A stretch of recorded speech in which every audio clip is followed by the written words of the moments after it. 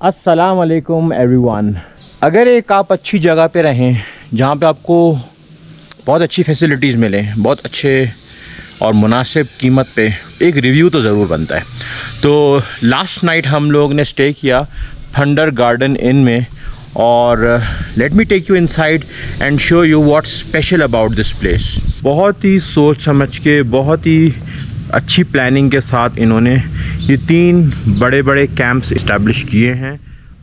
अब इसके अंदर आपको लेके चलते हैं और दिखाते हैं कि इनके पास क्या फैसिलिटीज़ अवेलेबल हैं। हम लोग जो हैं, वो आम तौर पे कैंपिंग कर रहे होते हैं और इस दफ़ा क्योंकि हमने कुछ डिफ़िकल्ट टेरेंस राइड करने थे तो हमने सोचा कि हम जो हैं, वो अपना कैंपिंग गेयर नहीं कैरी करते, क्योंकि वो तकरीबन 25-30 किलो का वज़न बन जाता है। तो अपनी बाइक का, के ऊपर लोड मिनिमाइज़ करने के लिए हमने कैंपिंग का सोचा कि इजाफ़ा नहीं करेंगे, लेकिन हम लोग बहुत ज़्यादा क्रेव कर रहे थे। तो हमें ये दिखा और हम यहाँ पे रुक गए। तो let me take you inside यहाँ पर आराम से छः बंदे रह सकते हैं। अभी इस करंट सेटिंग के अंदर ये दो, एक डबल बेड लगा हुआ है, ये दो सिंगल बेड लगे हुए हैं। यहाँ पर भी एक बेड आ सकता है मेट्रेस आ सकता है, यहाँ पर भी एक मेट्रेस आ सकता है। और बहुत साफ़ सुथरा वेल प्लान इसके अंदर अंदर लाइट लगी हुई है, अंदर वो सॉकेट लगे हुए हैं मोबाइल वगैरह चार्ज करने के लिए। फिर ये डबल लेयर्ड है। तो ये एक आउटर लेयर है, फिर इसके अंदर अंदर इनर लेयर है। तो सर्दी की सूरत के में भी और बारिश या बर्फ़बारी अगर कभी होती है सर्दियों में यहाँ पे तो the outer layer will protect you and make the stay more comfortable अब क्योंकि ये कैंप्स हैं तो अगेन वॉशरूम का भी इशू है तो वॉशरूम के लिए इन्होंने ये किया है कि इस पीछे इन्होंने ये टैंक लगाया है, जिसमें ये हॉट वाटर आपको प्रोवाइड करते हैं। इसके अंदर एक एलिमेंट लगा हुआ है।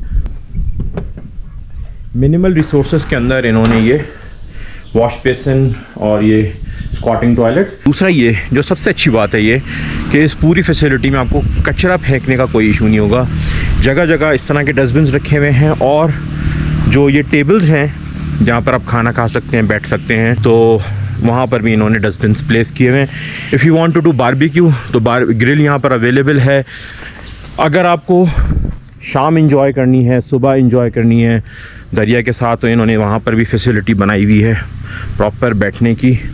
और सबसे अच्छी बात यह है कि अगर इस दरिया में आपने फ़िशिंग करनी है तो फ़िशिंग रॉड्स भी इनके पास अवेलेबल हैं। इसके अलावा थोड़ा सा फासले पे, तकरीबन 300-400 मीटर के फासले पे दोनों तरफ़ मार्केट्स हैं। आप यहाँ पर कुछ भी ख़रीदना चाहें बेसिक सारी ज़रूरियात यहाँ पर मिल जाएँगी आपको। और अगर आप ख़ुद भी पकाना चाहें तो ये इनका किचन अवेलेबल है। यहाँ पर आप बस गैस चार्जेस दे के अपनी कुकिंग कर सकते हैं अगर आपको किसी ख़ास अंदाज में चाय बने ये हमारे यहाँ के ओनर हैं और इनका मैंने पूरी फैसिलिटी आपको दिखाई है। बहुत मेहमान नवाज़, बहुत खुश अखलाक और बहुत ही केयरिंग इंसान।